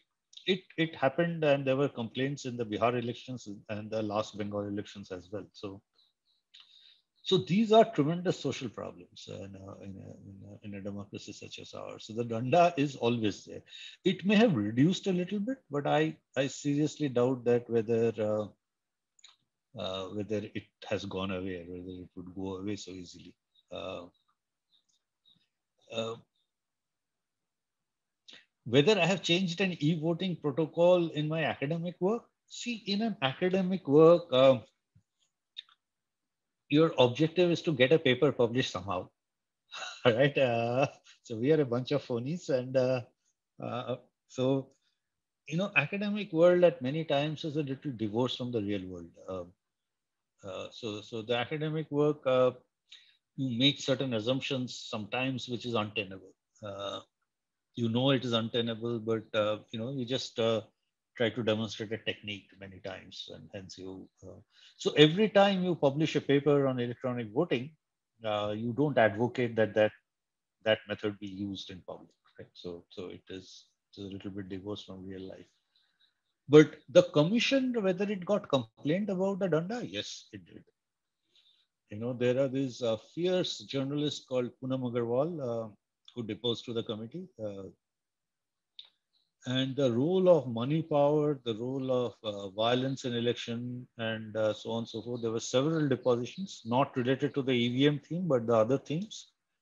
And some of those depositions are quite shocking. So the depositions are public, so you can go and read them. And it's an education. It was an education for me, at least. I think that some of my other fellow commissioners were more worldly wise. You know, they have been they have been the chief election commissioner and chief um, information commissioners and Supreme Court judges. So they were probably more used to the worldly ways. But for me, it was a shocking eye opener. So um, one thing you mentioned that I think you're going to talk about this more in the next session, but um, uh, you mentioned one of the proposals is uh, homomorphic encryption, and it's one of those uh, wonderful holy grails of cryptography that people have been looking for and hoping for for years, and it never really uh, comes to fruition in, in a way that people want. And in particular, because it's very hard to defend against known plain text attacks and uh, unknown ciphertext attacks in, in that kind of encryption mode. Um, do you know of any any uh, research that uh, that uh, suggests that this might actually be um viable right now? You know, there is a most elegant paper by Ron Rivest uh, and uh, Ben Adida, uh, his PhD student. Adida and Rivest is called Scratch and Vote. it's an incredibly elegant paper which suggests homomorphic voting, homomorphic tallying homomorphic encryption and tallying. And the paper is almost flawless. But they end the paper saying, don't use it.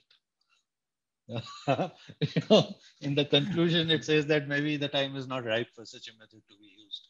So this right. is a paper from 2009, 2010. You cannot fault the paper in terms of its elegance, like much of Ron Rivest's work. Or this is also, um, you know, maybe a little complex to implement, uh, perhaps, but, but probably uh, if you're not familiar with cryptography, complex to understand. And I think that's good enough reason not to use it. So uh, we have another question here uh, from Biaka. Um, uh, so more of a general question on the role of the experts in the public sphere. Um, so uh, deeply appreciates uh, Professor Banerjee's skeptical approach. Um, but what would be your suggestion to cultivate a wider presence of uh, self-effacing uh, disposition among self-aggrandizing experts? Which is that's a bit of a pointy question, but I, I think it's actually really uh, valid, and it says especially expert technocrats and tech moguls. Um, there are plenty of those uh, chiming. You know, I, I, I know where this question is coming from, and uh, you know, I think that it is coming from a deep skepticism in which uh, uh, technical deployments have happened in India over the last uh, 10, 15 years. And, uh, and I sympathize with the views, views expressed completely because of the following reason that, you know, India has seen deployment of digital technology in public life like no other country has seen. You know, from a somewhat technologically backward country, we have leapfrogged a little bit recklessly into digital technology, you know. So we are the only country that has a digital identity authentication system uh, for 1.2 billion people. You know, we deployed Aadhaar. We have been doing electronic voting from 2004. No other country has done it. No other country that I know. Definitely not at this scale, but no other country has even ventured into electronic voting like this. You know, our prime minister announced a national health ID system and digital health record, you know, electronic health record system for everybody in the last uh, Independence Day. Uh, England have failed to do it six times. You know, they tried it six times and six times they were abandoned their databases. They've deleted their health record databases because of privacy concerns. Sweden has tried it and they have leaked data. You know, the entire data has become public um, last time in 2019. I think they leaked once in 2018 and leaked one in once in 2019. United States of America hasn't even tried it. You know, they're too scared of, of such a thing. They have local small scale electronic health record, but a nationwide electronic health record is unheard of. And, you know, our systems have got deployed by a process of what may be called crony expertism. You know, so you handpick some experts uh, from my institutions, IITs. Uh, you know, you pick a professor like me, and uh, somebody like me, we get onto a committee and we write sign off uh, uh, a system of a mind-boggling complexity. This clearly, I agree that is a wrong way to do things. I think that uh, you know when it comes to this kind of system, there are no experts the designs should be open to public consultation and public scrutiny. But even before the design, the objective should be articulated clearly that, you know, what is it that you want to achieve with the blockchain? What is the objective? First agree on the objective and then, you know, I, I have always believed that uh, be reckless in ideation, but be super conservative in deployment. You know, you publish a paper, you have to be completely reckless. You know, whatever idea comes to your mind, publish a junk paper and forget about it, right? And uh, maybe get a promotion. But if it comes to deployment, you know, bringing it to public life, public consultation is the only way. Make the design public and let expert, non-expert, everybody comment on it for one year before you before you move on it. That's the only way. And there are no experts when it comes to a system like designing an electronic voting system for the country of this size it should not even be done by experts. It's the ultimately public trust that matters. That's the only thing that should count. Yeah, that's that's uh, a personal view. Yeah, no, and I, I, think you're absolutely right. It ultimately comes down to uh, trusting the systems. Uh, here in Iceland, we have um, most of this, uh, these uh, health records and everything available through uh, public APIs, uh, on online systems, and we have a common uh, identity system. So it uh, you don't need a separate health ID and a separate voter ID. You just have an ID. Uh, it's it's a simple way, but um, yeah, it, that that's worth a, a, discussion of its own because there are certainly other problems. Um, but uh, I think we're uh, running out of time, so uh, I think um, at some point, uh, well, yeah, uh, I, I, suppose if you have any final comments and thoughts. I think Kiran has a question for you. Yeah, uh, so I would have to um, get my phone. It isn't here, so uh, maybe. Oh well, we apparently have a bit more time. So actually, um, you say some clever words and i'm going to see if i can find my phone uh, no but you know I, I can if there are more questions uh, you know just unmute and ask you know i'm, I'm happy to discuss uh, listen to your comments or, or, or whatever from, from anybody uh, Professor Subhash, thank you for the wonderful talk. Uh, so I have a question. So, from what I could gather from your talk, I think verifiability is a very important aspect of ensuring credibility of elections. Yes. Another low hanging fruit is how effectively we can use VVPAT, is what I Absolutely. Can. Absolutely. What are the three tangible steps that you can think of which we can readily implement so that we can increase the credit, we can increase the verifiability and thereby credibility of? You know, the first thing is that um, make the VVPAT system voter verified. So, which is to say that the voter uh, must have an agency to approve what has been printed on the VVPAT slip. You just don't show it, flash it for seven seconds, and it drops into a box. That's that's not that's not voter verified. So, uh, give a mechanism to the voter to cancel if the voter is not satisfied, right? Uh, and actually the best would be for the voter to get the slip in, in, in their own hand and drop it somewhere. So that is, uh, uh, so, so make the thing voter verified. That's the first thing that needs to be done. The second thing that needs to be done is ensure that the voter verified paper trails are secure between the election and the time of counting, right? So there are standard processes outlined uh, by election experts, uh, like Stark and Wagner paper tells you how to do it. These are semi-cryptographic processes, like putting seals in a certain way, putting uh, putting parity checks to, to ensure that no voter verified slips have been injected or deleted from the system, right? So putting just a seal and polling agents to sign it is too simplistic. So right now what they do is that they put a seal, a paper seal on it, and polling agent of everybody puts a signature on it. Now those things are easily hackable, you know, fairly easily tamperable. And there must be a better compliance audit process to ensure that the custody chain is trustworthy. From the time the election happened to the time the VVPAT slips are counted there, there, there, the, the integrity is maintained. The third thing is that count a representative sample, statistically representative sample of VVPAT slips manually. In India, they declare the results first and then count the VVPAT slips of five assembly constituencies. Now, once you have declared the results and one party has started celebrating, there is no way you're going to change anything, right? There'll be riots if you change, if you try to change that election. So I think that uh, that's a completely wrong process. I think that there is no hurry to declare the election. Do the VVPAT audit of a necessary number of VVMs. Uh, take your time. And only once the audit is, um, the risk limiting audit is passed satisfactorily, do announce the elections. And I think that in the short, the low hanging fruit, just these three steps will make the election process much more credible.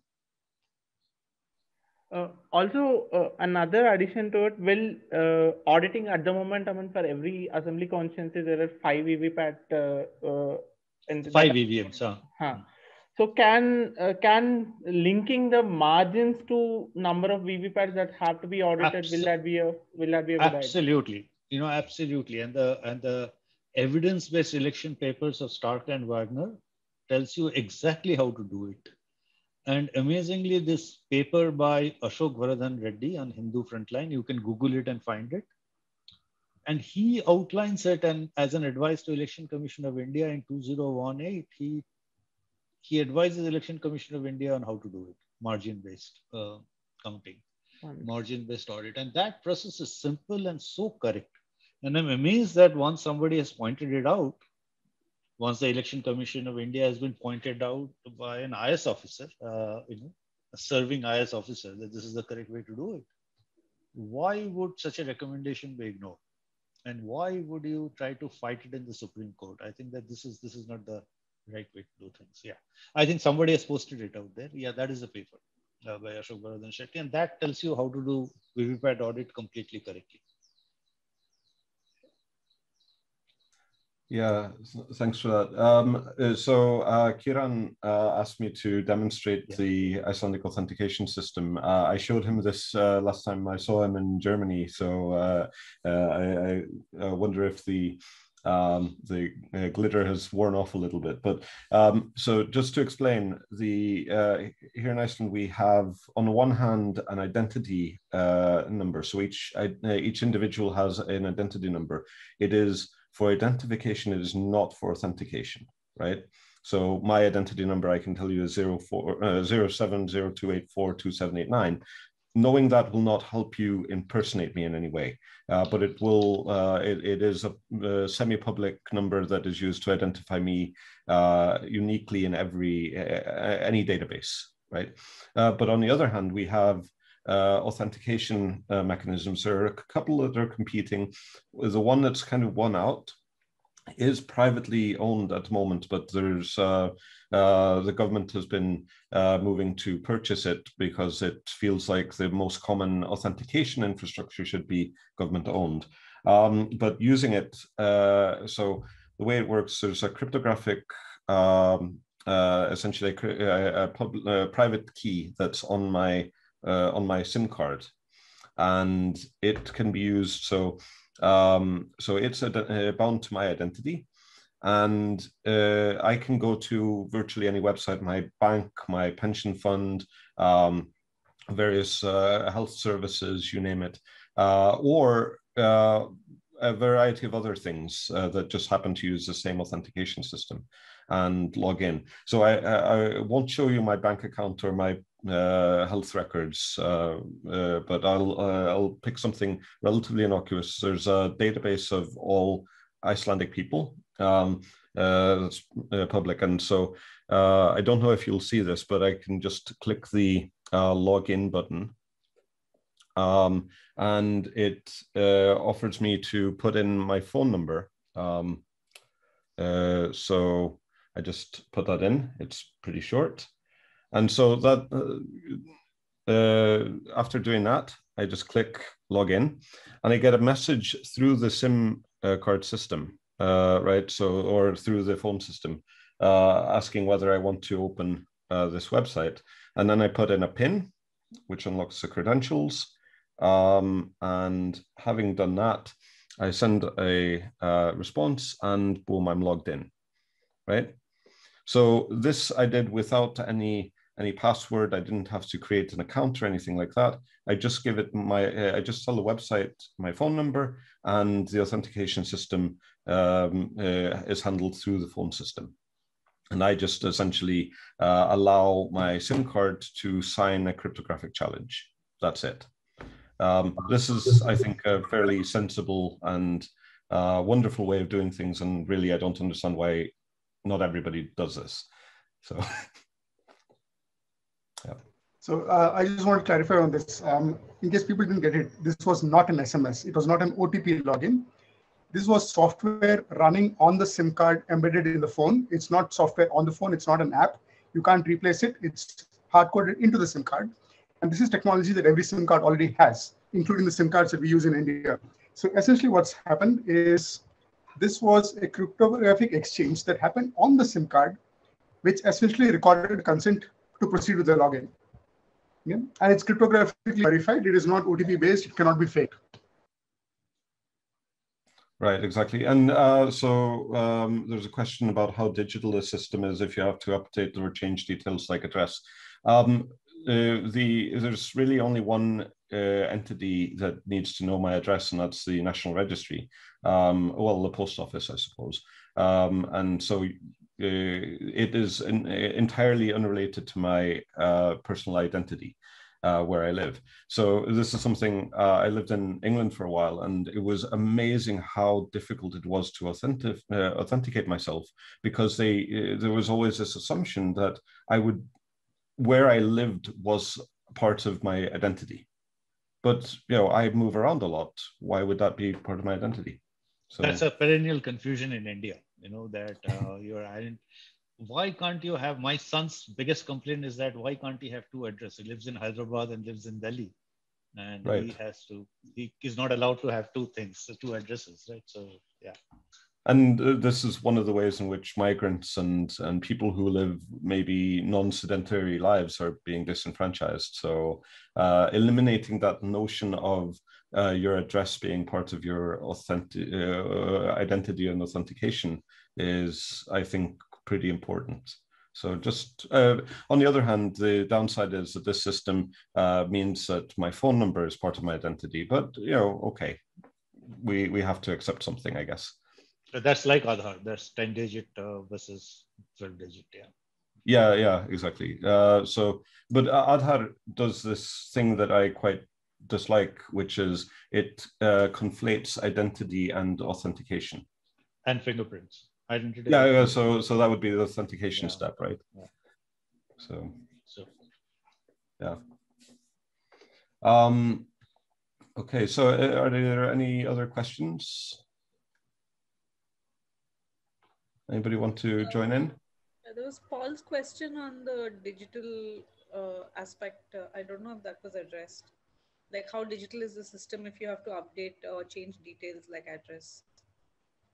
Yeah, you can do all of that uh, pretty much digitally, like online. But uh, I guess my point there was that uh, address and such are not part of the identity. But um, yeah, we have uh, government online services for uh, a growing number of things.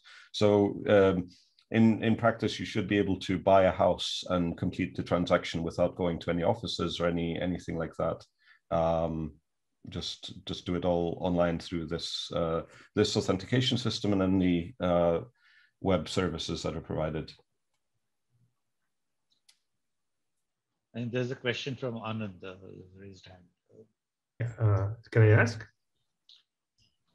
Yeah, yeah go ahead. Yeah, yeah. So, uh, so one thing that I want to kind of bring out is uh, like we're technologists talking about uh, what technology can actually bring uh, to election process, but um, so one thing that actually worries me is uh, uh, we're generally talking about improving trust in the election process, right? Uh, should we start uh, talking about bringing more transparent existing process? For example, I don't know if we have transparency about how the EVM has been manufactured and then have an audit trail of how those things are actually coming and they're managed.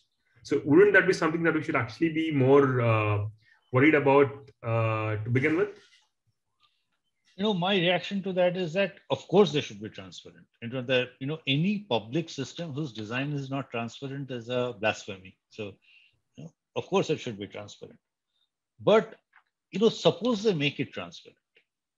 It still does not get you public trust. You know what will they do? They'll put up a design on a github and they'll put up a source code on a github and they'll say that this is the way we design the evm system no from there to proving that that source code is what is running on every EVM is an impossibility, right? So unless you have bring in some extraordinary cryptography uh, to like proof carrying codes and so on and so forth, rather complex stuff out there. So while that is an essential step for public trust, that is necessary. I don't think that is sufficient for public trust. So um, making things transparent is uh, something that should happen routinely But public trust in an election cannot come from an opaque uh, hardware or a software. So ultimately, the dependence has to go away from, from that somewhere. So, you know, um, I like, uh, so Ron Rivest, if you if you look, read his papers, um, he has been writing for the longest time on elections. He thinks that election equipment should be based on public, uh, you know, publicly uh, available uh, commodity electronic devices, like maybe this phone, right? Is the hardest to hack. You got to get it from Apple. It is manufactured for one purpose. Just put some software out here, like like um, Smári and Kiran talked about right now. You know, uh, put some cryptographic protocol, and your election hardware should not be anything more than that, or the you know, or the Mac laptop or a Dell laptop that you that's that you can buy. You know, just commandeer this laptops from school and you don't know you know every laptop is different. They're not manufactured for the election so they are diff most difficult to hack. And uh, use public commodity hardware for running elections. That's the way you will get trust the most right? So ultimately uh, ultimately the requirement from the hardware should be minimized to the extent possible and i think that you don't require anything more than smartphones ultimately to run elections you know, smartphones as EVMs, not you know, people don't have to carry smartphones. So, uh, so, so, and if one smartphone goes bad, just replace it with another smartphone, right? So, so I think that the EVM ultimately has to be very simple, and the proof of correctness should be independent of the of the hardware, like using VVPAT slips or right using cryptography or what what have you. Yeah. Yeah. Thanks.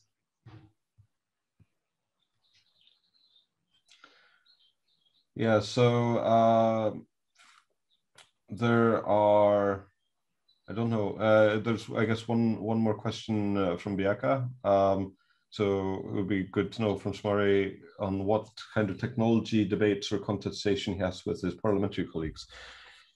That would be a long conversation. I mean, um, one of the things uh, that uh, you know is happening in pretty much every country in the world right now is um, technology is rushing in very very quickly, uh, causing all sorts of madness, um, and countries are variably quick to to pick up and uh, and adapt to this new world, right? Um, and so we you know we we have these problems like you know india's done electronic uh, uh, or uh, so electronic based voting for a long time. Estonia has done uh, uh done it via uh, even online but most countries are i think naturally and sensibly going very slowly on this um, and of course you know the pace at which different countries go is um, is always going to be a matter of public debate.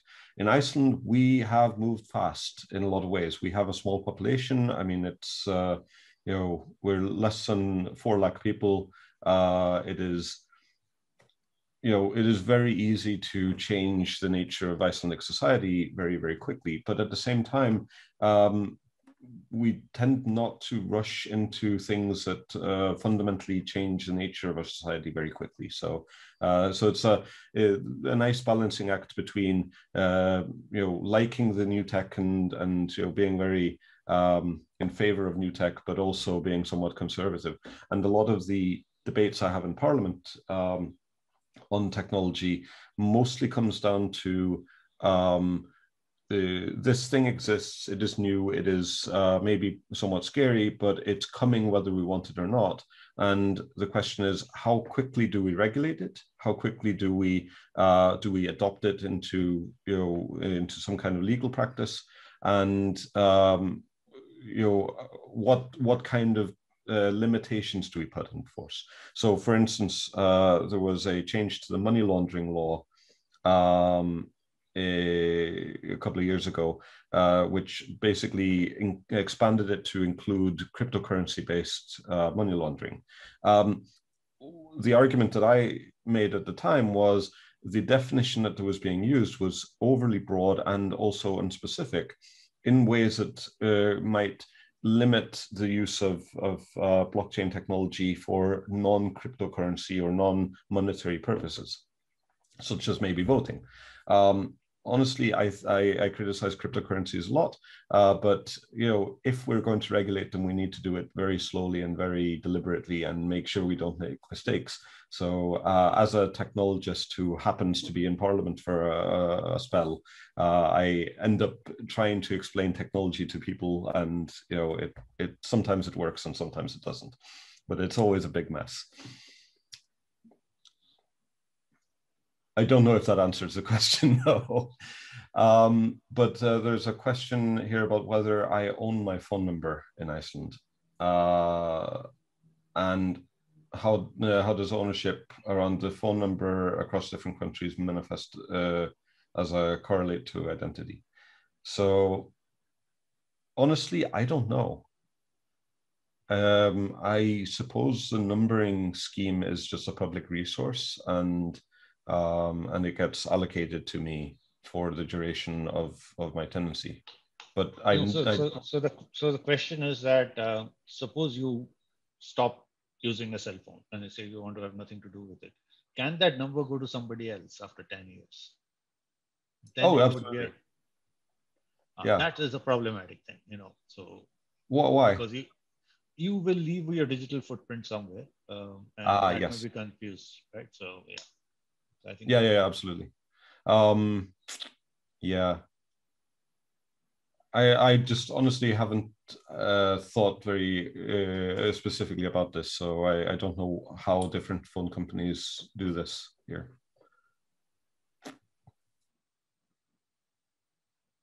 But um, uh, I guess are there any other questions? I don't. I also have lost track of time a little bit. Um, yeah, I think that we have five minutes to close. So there are no. Okay. Okay. Yeah. So last chance, if anybody wants to uh, come in with uh, uh, with a question. If not, I I can uh, ask you maybe one more uh, and uh, just about um, because you mentioned statistical testing, uh, whether you have any opinions about using real time or time lagged uh, statistical sampling as a way of uh, ensuring verifiability. So uh, essentially, as the vote is being conducted, uh, people are uh, taking statistical, like essentially something like a jackknife or bootstrap type sampling of the paper data and comparing it to the stored data. So, so in India, there are logistic issues with that. You know, so to, to do something like that, you need the internet, perhaps. And uh, I think that in many, many polling booths, there is no internet. There's no possibility of an internet uh, in India. You know, we conduct elections in pretty remote areas. The other difficulty uh, with that is that our elections are over a long period of time. So you cannot really announce results or do any auditing till the all the phases of the elections are over. So to hold the elections uh, results, uh, such a large country, so Bengal election, for example, happened in uh, seven phases over, over a month, and uh, you were not allowed to do any auditing in between. So I think there's a logistic reason. So statistical auditing online is a is a possibility. Otherwise, theoretically, there's there's nothing to stop it. But um, fundamentally, there are logistic reasons to stop it. My only concern with statistical audit is that do it correctly. You know, so so don't come up with ad hoc um, means uh, to, to to declare an election. Statistical audit is the cornerstone of an election, whether it is paper-based or whether it is electronic, and that step cannot be uh, sidestepped or cannot be, uh, you know, you cannot use uncertain methods for that step. So no, exactly.